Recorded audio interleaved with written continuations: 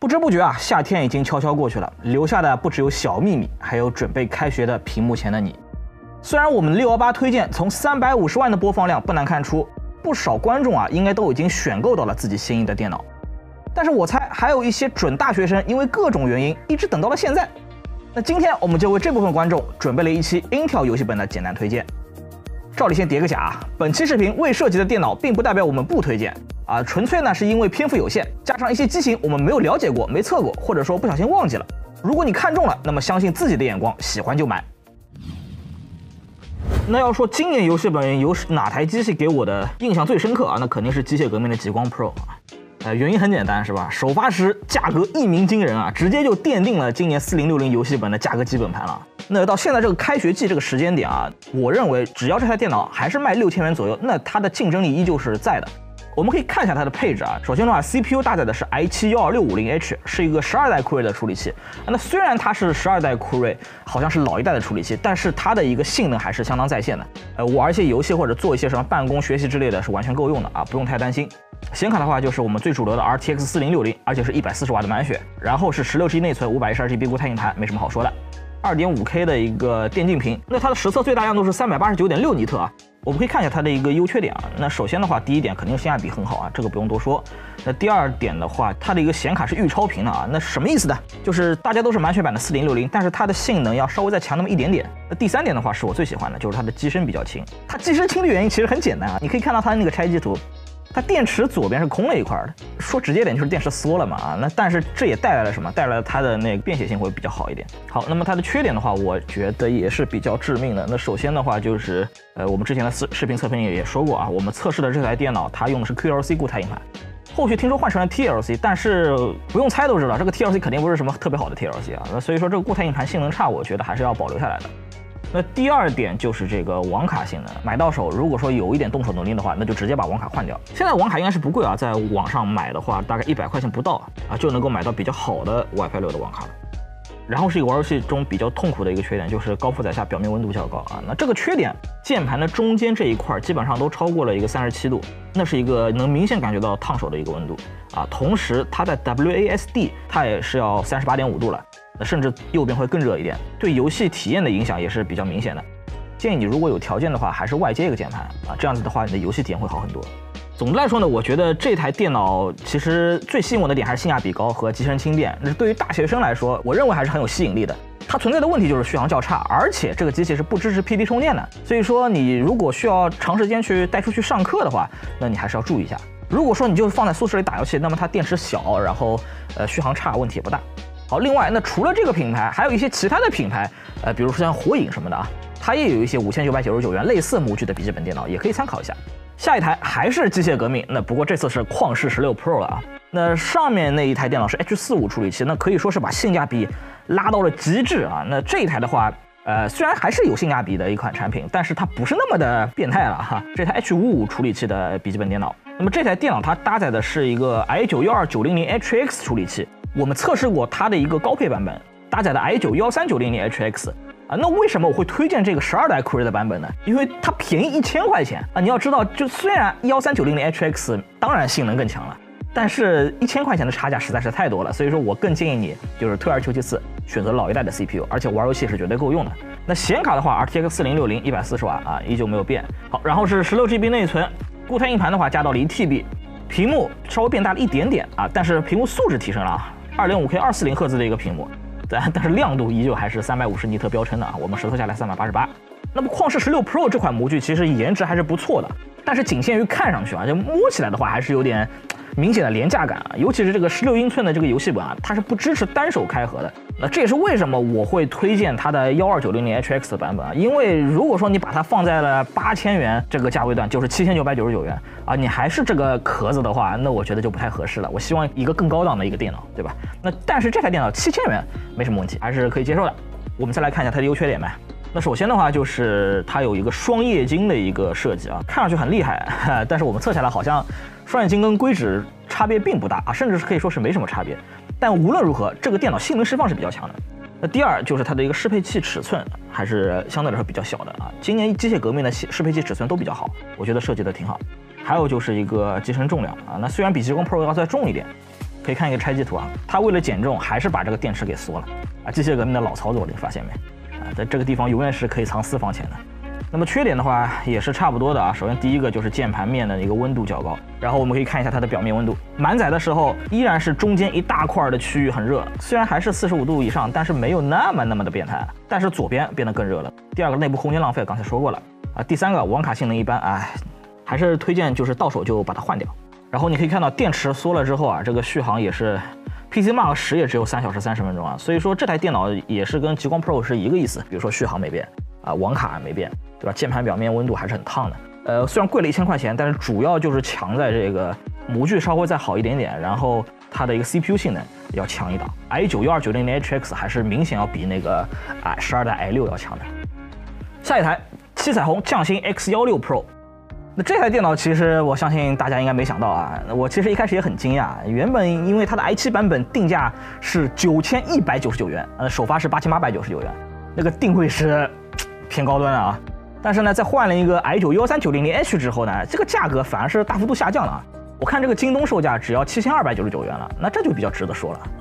呃，像这个匠心 X 幺六 Pro 的一个外观质感，可以看一下，它还是不错的。这外壳基本上都是一个金属了，然后这个机身啊，薄款的这个机身还是比较精致的。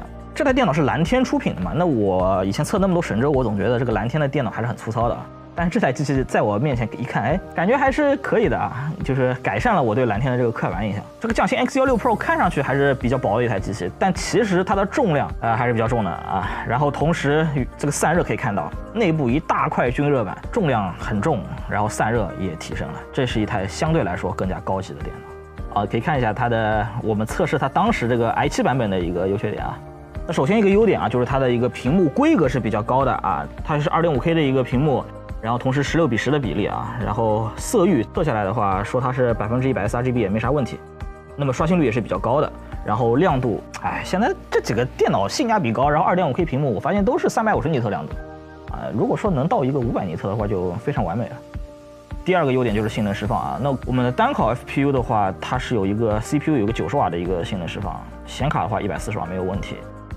双烤是一个六十加上一百三十九，一百四，就相当于两百瓦的一个接近两百瓦的一个性能释放啊。那对于七二九九这个价位段的游戏本来说，这个表现还是非常棒的。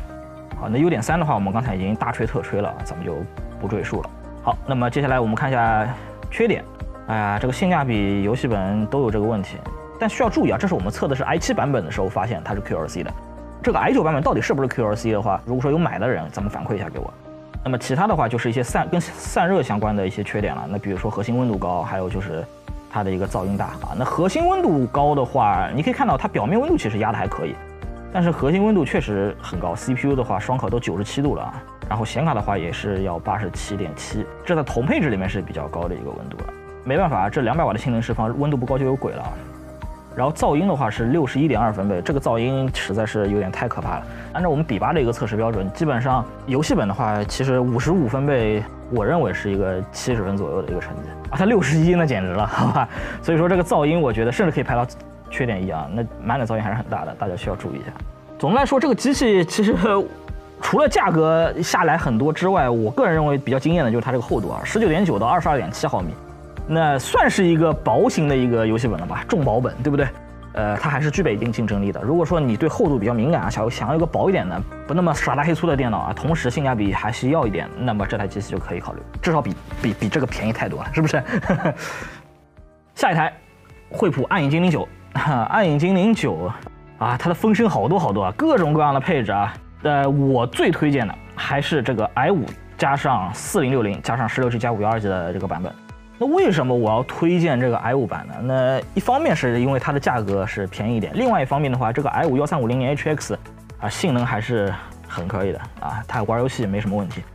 所以说，如果你没有什么专业需求，那你买 i 九。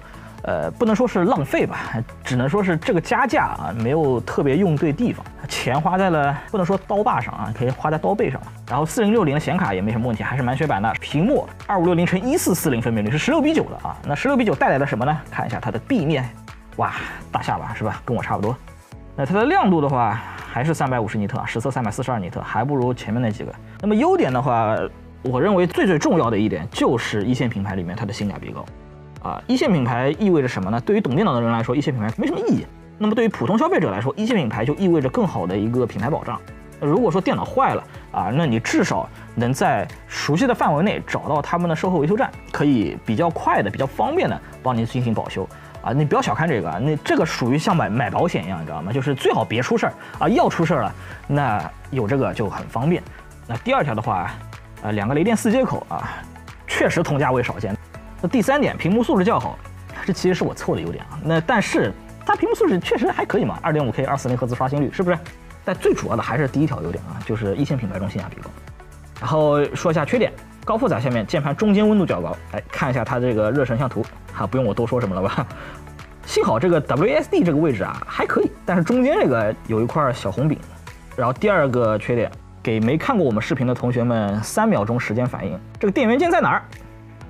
三、二、一，嗯，找到了吗？就在这里，哈哈，没想到吧？啊，这个电源键一开始我也是让我非常懵逼的啊。那我骂了已经没有三年，有两年了啊。那惠普依旧不改，怎么办呢？接着骂呗。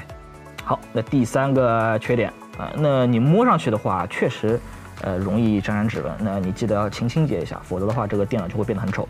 然后我们再来看一下它的散热呗。其实这个散热在这个主流价位段啊，它就是一个中等的一个散热。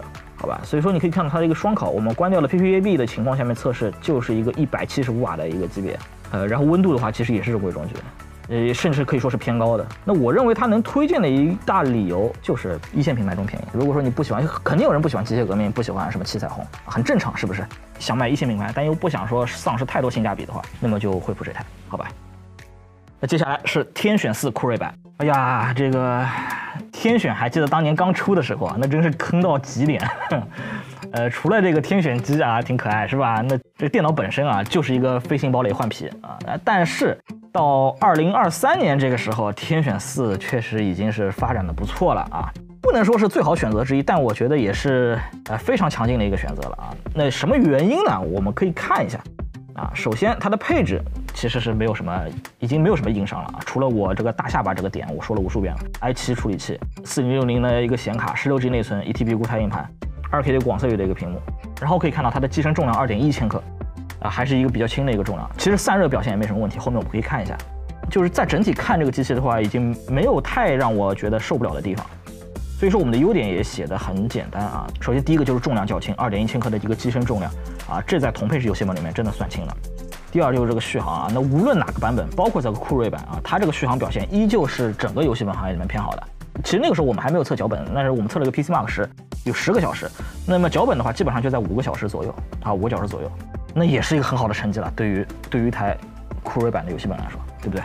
那缺点的话，我们就找了三个啊，一个是 Type A 接口较少，两 A 两 C，它只有两个 A 口，我希望多一个啊。然后呢，方向键的话，半高这个，呃，游戏本如果说方向键半高，其实还是挺影响体验的，就很不爽，你只能外接键盘。然后还有就是这个屏幕下巴较大，哎呀，为什么我会比较难受这个事情？因为它的一个 A 卡的一个版本用的是十六比十的一个屏幕，但是 N 卡的版本用的却是十六比九的一个屏幕。性能释放的话，它的一个双烤的一个核心基本上在一百六十五瓦左右，呃，还不如暗影精灵九，但是也可以吧，是我能接受的底线了，再低就不行了。那总的来说，这个性能是可以的啊，没什么问题。然后再加上它的一个配置没有什么太明显的短板，如果说有促销价格的话，那我觉得还是可以的。啊，当然，如果说你想要便宜点的话，你可以买那个灰色的版本，比这个青色的版本要再便宜一点。好，然后我们可以看到它一个它一个比较明显的一个优势啊，就是它这个高负载下面的一个表面温度啊。这个怎么说呢？确实有点那啥，是吧？但是咱们看数据，好吧？咱们看数字，WSD 这个位置三十点七度啊，有点动手呗，好吧？这再对比一下前面的几位仁兄啊，你可以你就可以感受到这个温度到底有多低。然后呢，即便是键盘这个位置里面最热的位置，也就四十六点四啊，所以说它的表面温度控制是很好的。这一定程度上也是因为它的功耗释放相对来说比较保守啊，它一百六十五瓦，你想想看。好，那么这次推荐了一个压轴机器啊，咱们得上点硬货是吧？我们这次的话，最后一台选择是 ROG 的魔霸星锐二零二三啊。那实话说啊，它对比其他十三代 i9 的竞品，其实是我觉得处理器上面是略逊一些的。但是幺三六五零 HX 我觉得没什么问题啊，玩游戏也还是够的。然后还是最重要的一点，它是 ROG 啊，你说是不是？这个 ROG 价格万元的一万元的 ROG，我觉得在大学生的这个圈子里面还是比较受欢迎的。与此同时，它其他配置也没有什么缩水啊，四零六零的显卡，十六 G 内存，一 TB 固态硬盘，呃，这个屏幕终于是一个四百五十尼特亮度的一个二点五 K 的二四零赫兹屏了，同时它支持色域切换功能。性能释放也是比较猛的，我们可以看一下 U 点二啊，双跑的一个数据的话是七十瓦加上一百一十瓦，就一百八十五瓦。如果说再拉满，那就可以再高一点到两百一十瓦，那就很离谱了，很变态了。噪音的话，强冷是五十八点一分贝，就是你拉到二百一十瓦的这个水准。优点三的话，我觉得不用说了，这台电脑是今年 ROG 这个品牌里面性价比最高的产品啊，除非你拿老库存跟今年的比，否则的话，今年的新品里面这台电脑是 ROG 里面性价比最高的。那缺点的话，我觉得还是老样子啊。首先，第一，这个接口我认为还是比较少的。还有就是它这个外壳真的不耐脏啊。你这虽然是 ROG 很装逼，是不是？但是你也要勤擦、勤清理。好，那么缺点三啊，可以看一下这个缺点，我觉得还是比较特别的，就是它的键盘下侧这个温度比较高。你可以看一下这个表面温度的图啊，它上面好好的，是不是？都是一些蓝蓝色的那种低温的一个区域，但是，哎，空格这个位置三十九点二，都快四十了。为什么中间这一块就半热起来了呢？WASD 这个 S 这个键位也有三十九度了，我觉得这可能是原因是什么呢？是因为它这个散热设计的比较特殊啊，它可以看下它的一个拆机图，它有三个风扇啊，它左右各一个之后，它在内存条旁边还有一个风扇，哎，这个好玩吧？那这个风扇呢，它不是那种传统的一个散热风扇，而是为了把这个机身内部的热量吹出去，用了一个导流的一个风扇，但好像这个作用。